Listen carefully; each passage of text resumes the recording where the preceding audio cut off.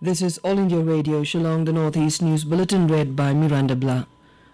The centre will provide financial assistance to the Tripura government to raise 10 tribal model villages covering 8 districts of the state. The proposed model villages will have all modern facilities, all-weather roads, pakka houses, toilets, electricity, drinking water supply, community halls, market sheds, internet and mobile telephone network, Tribal Welfare Minister Mevar Kumar Jamatia said. A sum of 10 crore rupees will be spent on each model village. The project will lay, also lay emphasis on socio-economic development of the villagers. Special focus will be given on agriculture, animal resources and vocational training to upgrade skills of the villagers, he said. The Tribal Welfare Department, with the help from the district and subdivision administrations, is working on the project aimed at boosting socio-economic development of the indigenous people. National Liberation Front of Tripura, led by Sabir Kumar Debbarma, has agreed to abjure the path of violence and join the mainstream.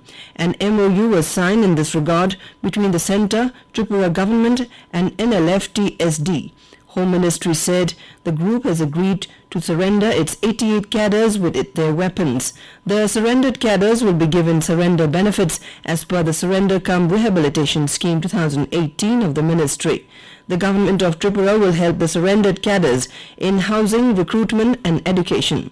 The ministry said the centre will consider the proposals of Tripura government regarding economic development of tribal areas of Tripura. The NLFT has been banned under the Unlawful Activities Prevention Act since 1997. The group has been involved in violence operating from their camps across the international border. In Assam, the BJP has asserted that the autonomous councils will continue to exercise their powers under the sixth schedule of the constitution. Participating in an AIR talk show, BJP spokesperson Dr. Numal Momin alleged that the Congress is spreading rumors that the centre may scrap the Article 371. He said Congress leader and former Chief Minister Tarun Gogoi is making baseless statements that after the scrapping of Article 370, the BJP could now touch the sixth schedule status in Assam. He said that the opposition is doing propaganda in the northeast. Participating in the talk show, senior journalist Bhupendra Nath Bhattacharya said that Jammu and Kashmir would now be hugely benefited after scrapping of the Article 370.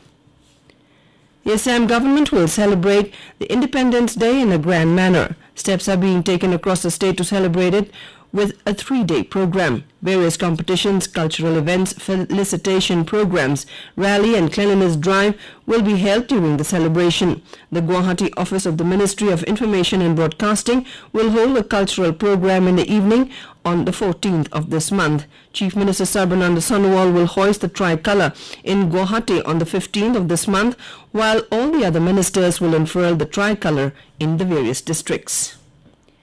In Assam, security has been beefed up in the state, including Guwahati, following report that a militant group has sneaked into the state from Myanmar. Sources in the Assam police said that the group may carry out subversive activities in the state ahead of the Independence Day celebration. Security has been tightened in various vital installations and important locations by the security forces. World Biofuel Day was observed yesterday to create awareness about the importance of non-fossil fuels as an alternative to conventional fossil fuels. Speaking at an event in New Delhi, Petroleum and Natural Gas Minister Dharmendra Pradhan said harnessing the full potential of biofuels to generate alternative energy in various forms, including ethanol, 2G ethanol compressed biogas and biodiesel will help achieve Prime Minister Narendra Modi's vision of reducing import dependence of biofuel and ensuring sustainable energy future in the country. Union Minister of State for Youth Affairs and Sports Kiren Rijiju has said that the ministry will be exploring sports talent from every nook and corner of the country. He said that the Sports Authority of India training centers have been established in different parts of the country for this purpose. Rijiju said that the ministry is financially supporting the academies run by various sports persons. He further said Khelo India will provide cash prizes to the players for the first time this year. And with that, we end the Northeast News Bulletin, which came to you from the Shillong station of All India Radio, Have a nice day.